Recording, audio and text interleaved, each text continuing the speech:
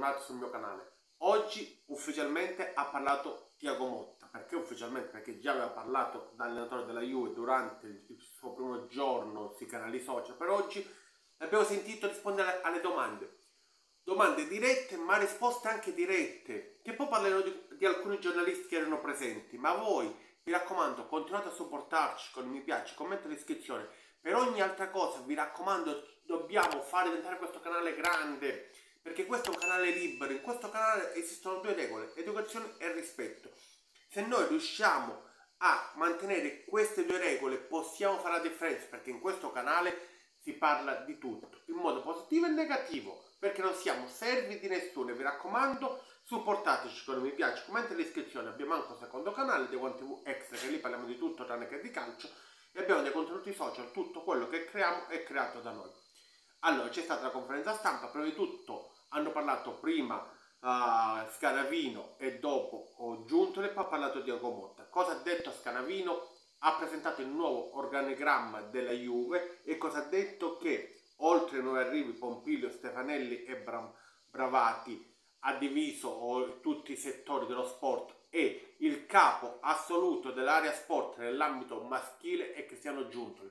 Al di sopra di Cristiano Giuntoli ci sono solo Scanavino, Ferrero e Gianelka e basta. Poi ha presentato l'organigramma del calcio femminile e, e, quello della primavera, ha presentato il nuovo ha detto che il nuovo allenatore della Next Gen Paolo, Paolo Montero, della, dell'Under 19 eh, l'ex preparatore che era la Juve, non mi ricordo come si chiama, però avete capito di chi, di chi ma, ma, Magnanelli, non mi veniva in mente perché non mi veniva un altro nome, però ha presentato tutto l'organigramma. Poi ha, par ha parlato Giuntoli e giustamente cosa ha detto Giuntoli? Che non ci sono fuori rosa, perché in questi giorni si erano parlato tanto di fuori rosa, perché anche qualche giornalaio, qualche direttore di un giornale romano cominciava ad attaccare Giuntoli che non riusciva a vendere i fuori, i fuori rosa. Io capisco che le vedove di Allegri, perché oggi in questa conferenza stampa c'erano ancora le vedove di Allegri. In questa conferenza stampa c'erano giornalisti che sono vedove di Allegri. E vi raccomando, perché quello che ha detto Scanavino, cosa ha detto Scanavino? Che l'obiettivo minimo, lo torniamo a dire, l'obiettivo minimo è arrivare nei primi quattro. Non è l'obiettivo massimo come alcune vedove di Allegri, lo stesso Allegri lo scorso anno ci volevano fare credere. Ha detto l'obiettivo minimo è andare in Champions, poi c'è l'obiettivo massimo, è quello della vittoria. Però se ti dice che l'obiettivo minimo è arrivare nei primi quattro è tanta tanta roba. E ha detto una, una cosa ben importante, possiamo dire che dopo cinque anni le strade, che già si, eh, si parlava ieri sera, si sentiva ieri sera, ma oggi Giunto l'ha ringraziato Adriano Rabbiò, Adriano Rabbiò non farà più parte della Juve. Dopo cinque anni è giusto dividere le strade. Qualcuno ha detto che Rabbiò non ha voluto rinnovare, altri hanno detto sì. Ora vediamo dove andrà Rabbiò. Perché se Rabbiò andrà al Milan per 6 milioni, bravo lui. Se poi andrà al Milan per 8, 8 milioni e mezzo, vuol dire che l'offerta fatta dalla Juve non, non era gradita al giocatore. Tutto dove fermerà e per quale cifra fermerà si saprà la verità. Però dopo 5 anni Allegri, no Allegri, eh, Mo, Rabiot non fa più parte della Juve.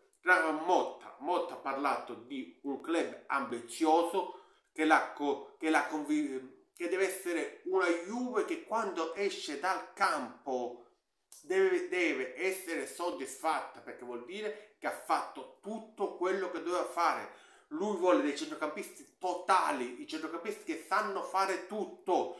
Perché ha detto una cosa abbastanza importante. Cosa ha detto oh, Tiago Motta? Che ci sono pochi giocatori al mondo che sono eccezionali in quel ruolo.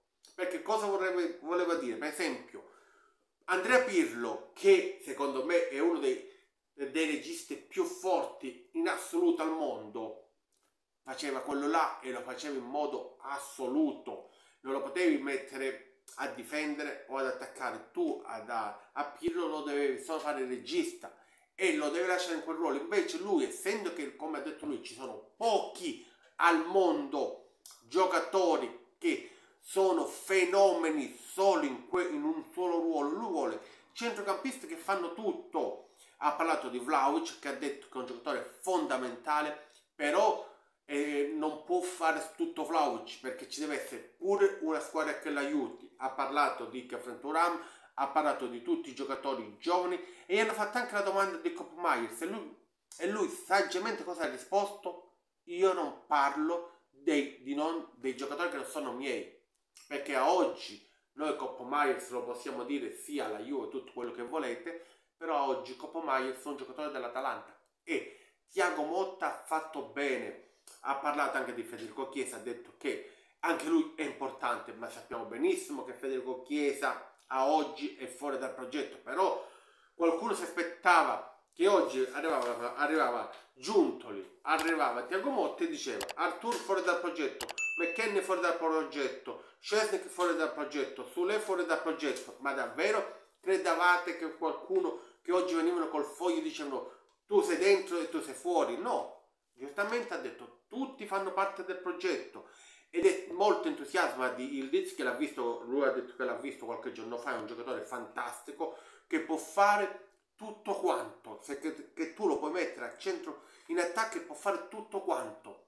E la Juve sul talento turco ci punta tanto perché a oggi sacrifica Sule per prendere per, eh, per puntare su Ildiz sacrifica Sule per portare soldi e puntare su Ildiz a proposito di Sule ha detto a oggi si sta allenando alla grande, a oggi è un giocatore della Juve, a oggi è un nostro giocatore, poi in futuro vedremo, ma io sono contento di tutti i giocatori che ho, giustamente come ha detto Giuntoli, il loro obiettivo qual è? Riuscire a portare un giocatore per ogni ruolo, allora serve ancora un difensore, serve ancora un centrocampista, e serve ancora un altro attaccante, soprattutto se a oggi, come si dice, Milik e altri giocatori non fanno parte del progetto. Poi ha parlato anche di Douglas Luiz, grande giocatore, gran lavoro per portarlo qui, fa parte della nazionale brasiliana, stagione importante, riuscendo a portare l'Aston Villa insieme ai suoi compagni in Champions e perché nessuno dava un centesimo che l'Aston Villa potesse andare in Champions, ha giocato tutte le partite, ha fatto gol un giocatore completo che può giocare in qualunque ruolo, poi dipende in alcune partite, può giocare anche in difesa. Signori, Giunto Tiago Motta è uno che non è schiavo dei moduli, però sa bene che deve adattare il suo giocatore, ogni giocatore nel proprio ruolo. Poi ha detto, ha parlato dei 20 punti di stacco dall'Inter e ha detto una cosa davvero importante. Quello è il passato.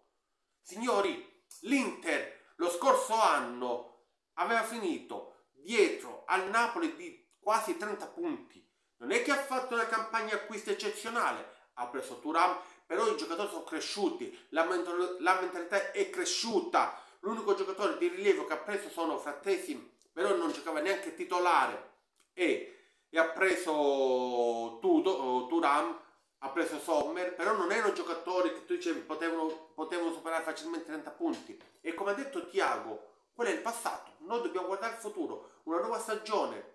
Chi ti, chi ti dice che oggi ci sono i 20 punti di stacco dall'Inter? Così come ha detto che lui vuole dei giocatori, vuole una rosa di 22-23 giocatori che possono essere titolari, però è fondamentale la next gen perché è fondamentale che dei troppi impegni stagionali possiamo andare a prendere giocatori dalla seconda squadra ed è una cosa importante. Poi l'ultima cosa di Adic, Adic, Adic, come si chiama lui, lo impareremo perché è un talento, è un giocatore davvero davvero interessante. Lui non guarda l'età, però è un giocatore che a oggi può avere anche una possibilità di restare in prima squadra. Signori, a me Tiago Motta mi ha emozionato, è stato concreto, ha parlato solo dei giocatori suoi, non ha parlato di futuri arrivi, Rabiot ufficialmente non fa più parte della Juve, eh, Giunto ha detto che ancora il mercato è aperto e vuole fare un colpo per ogni reparto, questa Juve è nata e è nata nel,